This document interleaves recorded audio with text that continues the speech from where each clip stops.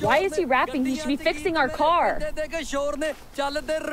Yo, bro, this rap game ain't for ya. Y'all came over here to fix my car, so ain't no need to spit any bars. Every post I see out there, I'm the superstar.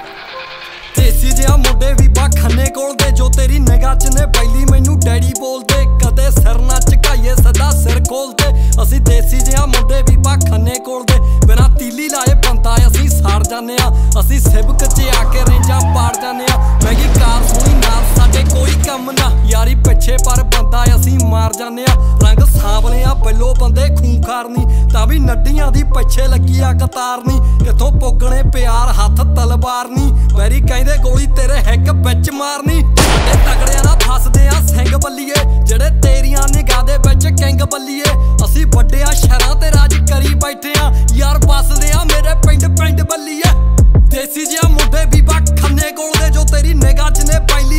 ਮੈਨੂੰ ਬੋਲਦੇ, ਕਦੇ ਸਿਰ ਨਾ ਝਕਾਈਏ ਸਿੱਧਾ ਸਿਰ ਖੋਲਦੇ।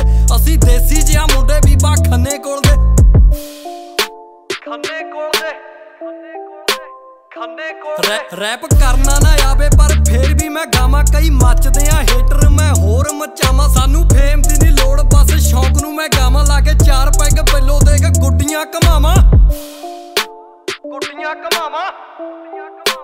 ਗੁੱਡੀਆਂ ਕਮਾਵਾਂ। ਮੇਰਾ ਰੈਪ ਮੇਰੇ ਯਾਰ ਹੀ ਚੜਾਈ ਜਾਂਦੇ ਨੇ, ਵਿੱਚ ਆਪਣੀਆਂ ਗੱਡੀਆਂ ਬਚਾਈ ਜਾਂਦੇ ਨੇ ਸੁਣਨ ਆਪ ਨਾਲੇ ਸਹੇਲੀਆਂ ਸੁਣਾਈ ਜਾਂਦੇ ਨੇ ਟਿਕਟੌਕ ਉਹਨਾਂ ਕੋਲੋਂ ਬਣਵਾਈ ਜਾਂਦੇ ਨੇ, ਨਾ ਕਿਸੇ ਸਟਾਰ ਕੋਲੋਂ ਪ੍ਰੋਮੋ ਆ ਕਰਾਈ ਜੱਟ ਨੇ ਕੱਲੇ ਤੁਰਿਆਂ ਤੇ ਕੀਤੀਆਂ ਤਵਾਹੀ ਜੱਟ ਨੇ, ਬਸ ਯਾਰਾਂ ਨਾਲੇ ਵੀਡੀਓ ਬਣਾਈ ਜੱਟ ਨੇ, ਵਿੱਚ ਆਪਣੀ ਉਹ ਗੱਡੀਆਂ ਖੜਾਈ ਜੱਟ ਨੇ ਦੇਸੀ ਜਿਹਾ ਮੁੰਡੇ ਵੀ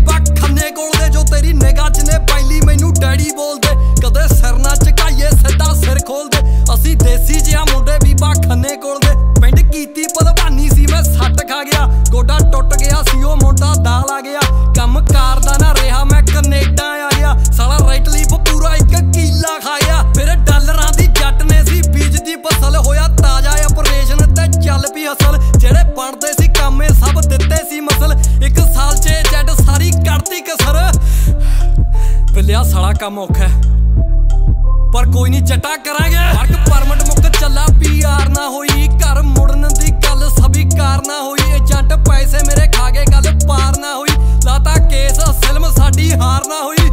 ਦੇਸੀ ਜਿਹਾ ਮੁੰਡੇ ਬੀਬਾ ਖੰਨੇ ਕੋਲ ਦੇ, ਜੋ ਤੇਰੀ ਨਿਗਾਹ 'ਚ ਨੇ ਪਹਿਲੀ ਮੈਨੂੰ ਡੈਡੀ ਬੋਲਦੇ। ਕਦੇ ਸਿਰ ਨਾ ਝਕਾਈਏ, ਸਿੱਧਾ ਸਿਰ ਖੋਲਦੇ। ਅਸੀਂ ਦੇਸੀ ਜਿਹਾ ਮੁੰਡੇ ਬੀਬਾ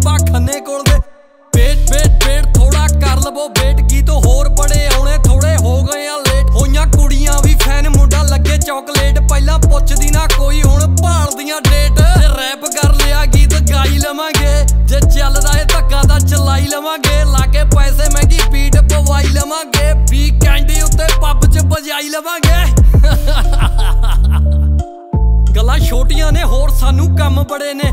ਪੂਰੇ ਕਰਨੇ ਆ, ਬਾਪੂ ਦੇ ਖੁਆਬ ਖਰੇ ਨੇ। ਹਲੇ ਤਾਰਨੇ ਆ, ਸਰਾਂ ਉੱਤੇ ਲੋਨ ਖੜੇ ਨੇ। ਮਾੜੇ ਟਾਈਮ